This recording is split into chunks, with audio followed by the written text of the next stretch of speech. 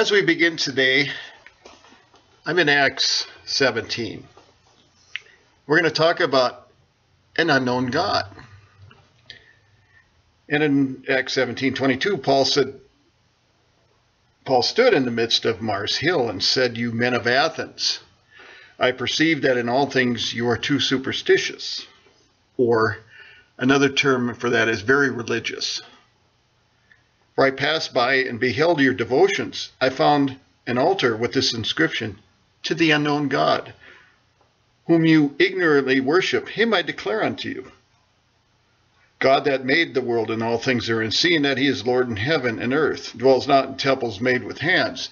Neither is he worshipped with men's hands, as though he needed anything, seeing he gives to all life and breath and all things. Neither is he worshipped with any man's hands. I kind of find that funny because the Bible talks about they that worship must worship in spirit and truth, and yet most of what I, people call worship is waving at the ceiling. I mean, that might work for a season, but eventually you grow up and realize that worshiping God is in spirit and truth. It's a way of life. But I kind of chuckled at that. I declare unto you the unknown God today. And I do that in, from the angle of Matthew 11:32, and I'm going to read this for you. No man, and do know this, well, verse 27. Let me start there. All things are delivered at Matthew 11, 36, 27. All things are delivered unto me of my Father, and no man knows the Son but the Father. Neither knows any man the Father save the Son, and he to whomsoever the Son will reveal him. So God is unknown. Bible says, let God be true and man the liar. God is unknown to mankind. He's unknown to the carnal man. The carnal the natural man cannot receive the things of the Spirit. So it has to be revealed to them personally. Now, many people talk about God. We have many, Paul referred as superstitious, I refer to as religious people out there that know about God, but they don't know God personally because they don't know the Son. This is what Paul came to preach. Many times he would go into the temples, uh, Acts 18, 5 and 28, he would go in there and, and show them that Jesus was Christ. Why is that important? Because if you don't know who the Son is, you won't know the Father. John 5, 23 and 24. And if you don't honor the Son, you can't honor the Father. If you don't honor the Father, you can't honor the Son. That's why to many today, it's still an unknown God. I watch Washington every year and they place a wreath at the tomb of the unknown soldier. Well, there's a lot of times I watch Christians placing a tomb on the unknown uh, wreath on the on the unknown God. They don't know who he is. He's dead in their realm. He's dead. They're dead to him. They don't know who he is. It has to be revealed to them by the Father. Let's go to Acts 2:30.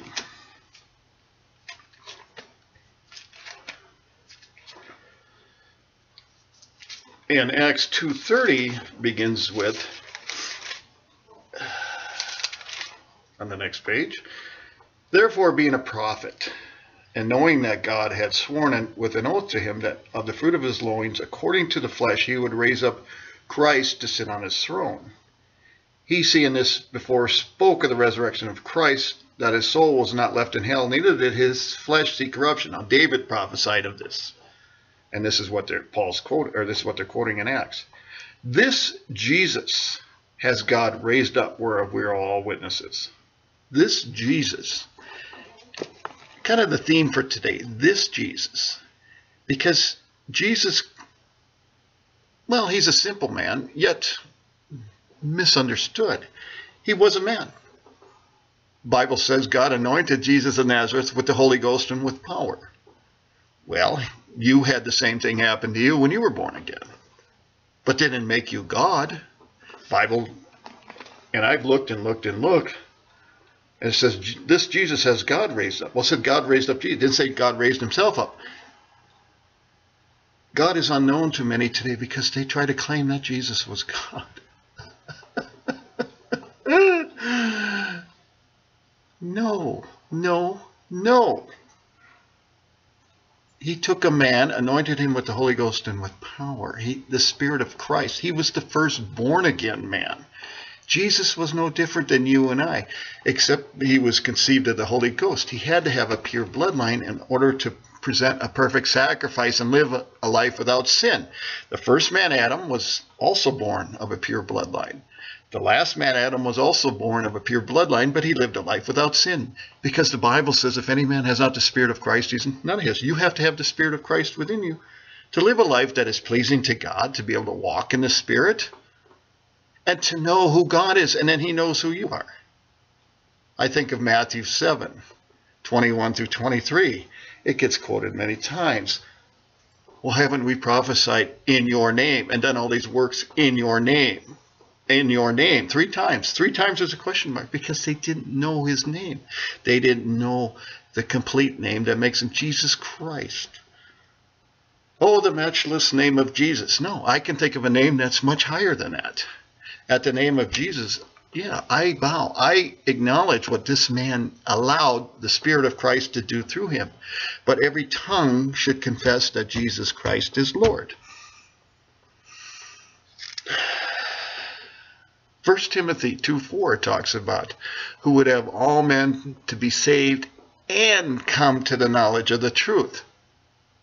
A lot of people get saved and then they just kind of drift off go through life. I'm, it's good. I'm blessed. They don't continue to seek the truth. There's more. The truth will set you free. Paul talked about dying daily. Why? Because it's like the Old Testament sacrifice. When they killed the sacrifice, the spirit was released. Well, the same premise holds true with the Christian.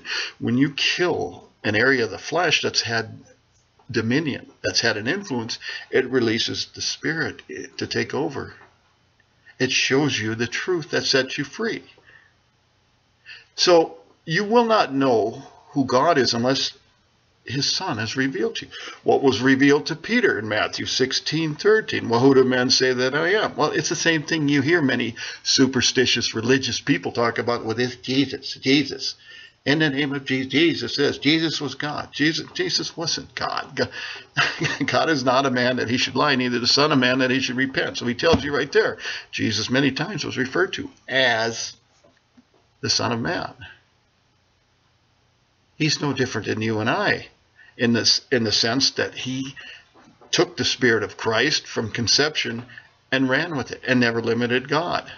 He didn't have the old. He had an. Uh, he had a lower, old fallen nature that he had to overcome. For many of us, we lived for a period of time in the flesh, and built up some bad habits, and had to undo that.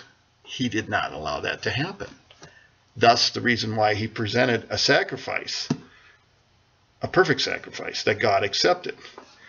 Let's go to Acts 17. We're in Acts. Let's just stick, stay around Acts here a little bit. Acts 17. And Paul, as his manner was, uh, and I'm in verse 2, and Paul, as his manner was, went in unto them three Sabbath days, reasoned with them out of the scriptures. Remember John 5, 39 talks about search the scriptures, for in them you think you have eternal life, but they are they which testify of me. Who's me he's talking about? Christ. Christ. Opening and alleging that Christ must needs have suffered and risen again from the dead, and that this Jesus whom I preach unto you is Christ. Please take note of that. This Jesus whom I preach unto you is Christ. He's not God. It said he's Christ.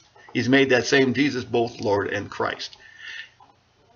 Now, when you continue, and I, we just quoted a verse in 1 Timothy 2.4, in 1 Timothy 2.5, it says there's one mediator between God and man. That man, Christ Jesus. It doesn't, you know, there's one mediator between God and man. There was a commercial here a while ago where a guy was running his own business and he'd answer the phone. Hello, I'm, yeah, okay, let me put you in charge with that department. And he'd put him on hold and he'd run over to another phone, pick it up. Hi. Well, if Jesus was God, then he'd, you know, okay, I'm the mediator. Hang on, hold. I'll run over and talk to myself over here. And come on, folks. How idiotic and stupid. Rightly dividing the word. But it has to be revealed through the Spirit. Ephesians 3:5 talks about God's holy and holy apostles and prophets and how the, this revelation of Christ is revealed to his holy apostles and prophets. That's what acknowledges you as one of his. Then you are able to know who this unknown God is because he is unknown. The natural man cannot receive the things of the Spirit. It has to be revealed by the Spirit.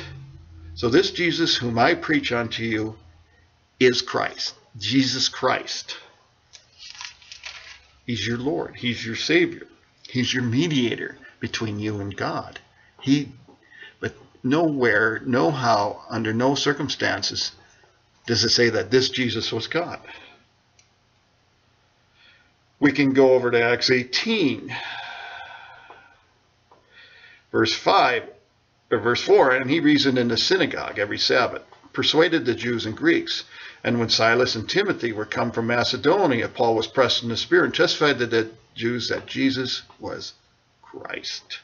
And when they opposed themselves and blasphemed, he shook his raiment and said, Your blood be upon your own hands. Heads, I am clean.